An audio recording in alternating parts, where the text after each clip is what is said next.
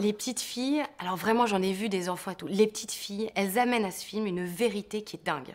Parce que je pense que vraiment quand on voit le film, on est en souffrance avec ces deux gamines qui sont donc des jumelles, et qui voient leurs parents se disputer, s'agresser, se, s'insulter tout le temps.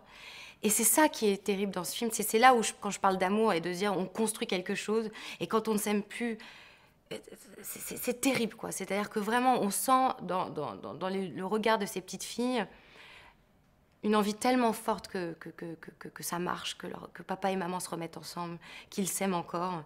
Et, et, c'est dur, en fait, de dire à des enfants, on ne s'aime plus, et je vous jure, les filles, ça sera mieux quand on sera plus ensemble. C'est très dur. Et je trouve que ça, on le ressent bien dans le film. Et les petites, elles n'avaient jamais travaillé. Donc, la première journée de tournage, il faut quand même... On a fait 40 prises. 40 prises. C'était un plan séquence de 5 minutes. 40 prises. Deuxième jour de tournage, Joachim rentre sur le plateau, il dit Je n'aime pas ce qu'on a fait hier, on a refait 40 prises. Alors moi, ça fait, ça fait 20 ans que je fais ce métier, ça m'amuse. Et encore une fois, les réalisateurs, je vis avec un réalisateur, les réalisateurs m'amusent. Donc là-dessus, je rebondis, ça peut me faire rire. Mais les petites, elles ont joué le jeu, mais, les 80 prises, elles étaient impeccables. Elles ont, mis un peu de temps à comprendre, à se mettre en route. Elles étaient un peu carafes au début.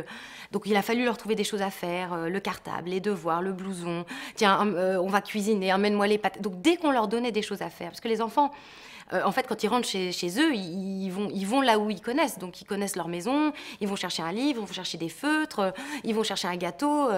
ils sont chez eux. Et là, les petites, elles connaissaient pas cette maison. Donc, euh, il y avait un, il y a eu un moment de stress en se disant, mais qu'est-ce qu'elles font? Elles font rien. Et puis finalement, on leur a dit, mais non, mais attends, Joachim, il faut qu'elles trouvent des choses à faire. Alors, qu'est-ce que fait un enfant quand il rentre de l'école? Et dès qu'on leur donnait des choses à faire, elles étaient incroyables. Et en plus, elles nous écoutaient.